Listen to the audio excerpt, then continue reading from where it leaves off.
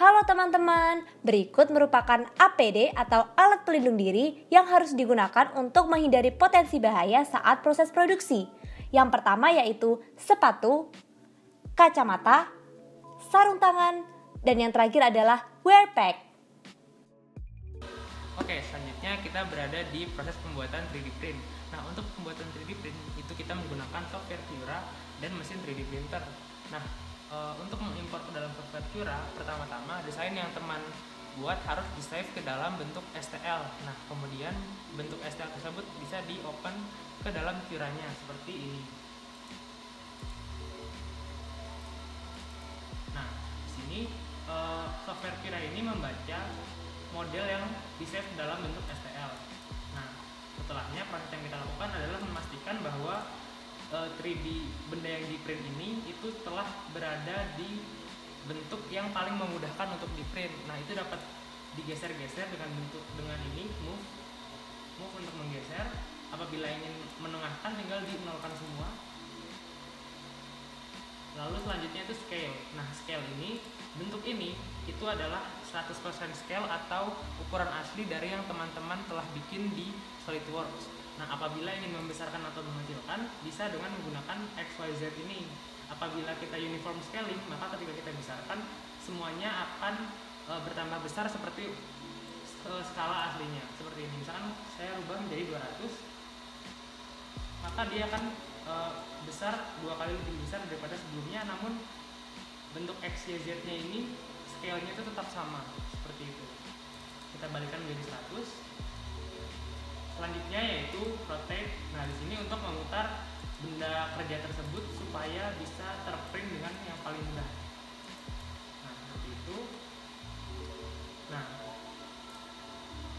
apabila kita coba putar maka nah dia akan seperti terputar sesuai dengan axis yang kita pilih. Nah tapi untuk ini kita pilih dengan bentuk seperti ini saja. Oke. Selanjutnya yaitu mirror itu untuk membalik setelah kita sudah posisikan sesuai dengan posisi yang paling baik, selanjutnya kita berada di setting di sini. Nah, untuk setting yang pertama material karena kita menggunakan material PLA pada mesin 3D printernya, maka kita menggunakan PLA di sini dan print setupnya kita pakai yang recommended saja. Nah, untuk layer headnya kita pilih dengan layer head 0,2.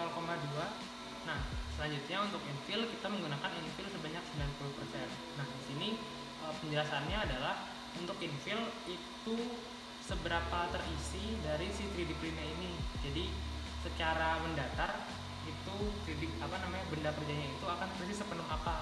Nah berarti kalau di sini 90% jadi ada rongga sedikit sebanyak 10% dari keseluruhan volume. Nah terus untuk layer head dan print speednya ini layer head itu adalah e, bentuk ketinggian layer antar tiap 3D print. Jadi kan 3D print itu mau print dari misalkan layer pertama, layer kedua, layer ketiga, layer keempat sampai ke atas. Nah di sini tuh jarak antar layernya itu adalah layer headnya.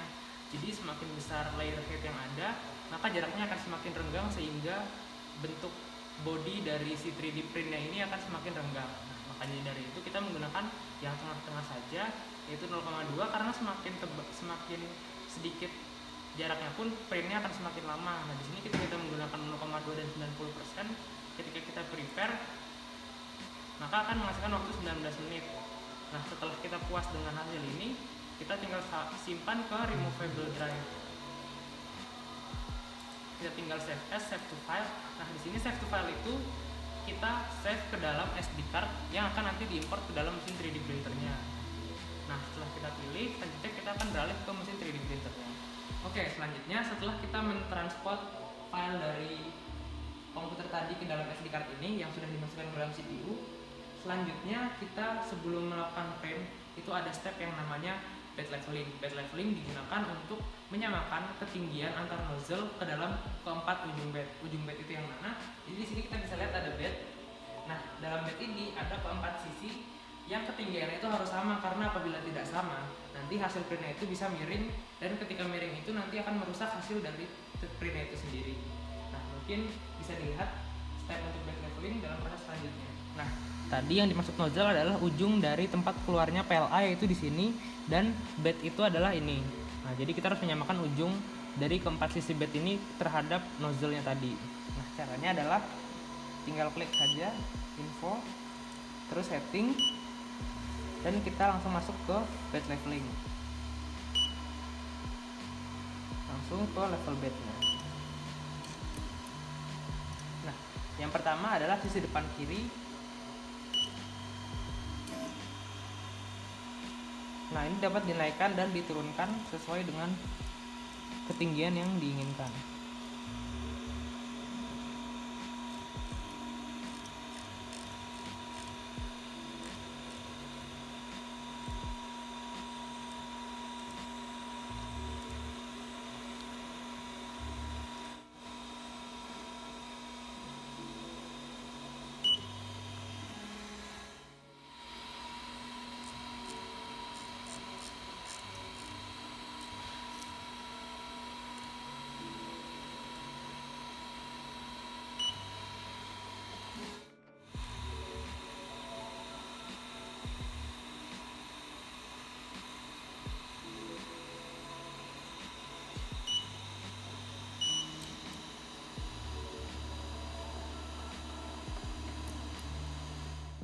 Nah, mungkin tadi dari teman-teman ada yang bertanya-tanya kenapa kita menggunakan kertas ini sebagai perantara. Nah, kita bisa lihat sebenarnya di sini itu ada e, diameter dari PLA-nya sendiri yaitu 1,75 mm.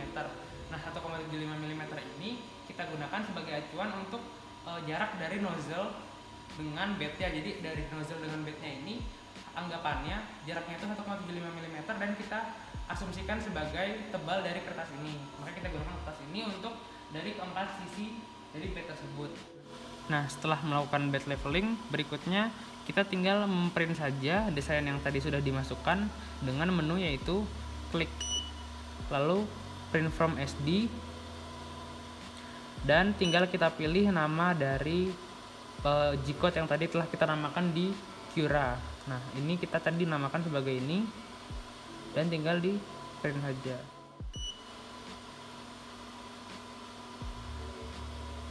Nah, ini heating sedang heating, nanti bisa dilihat di screen ini itu 195 derajat, ketika 200 maka print akan dimulai.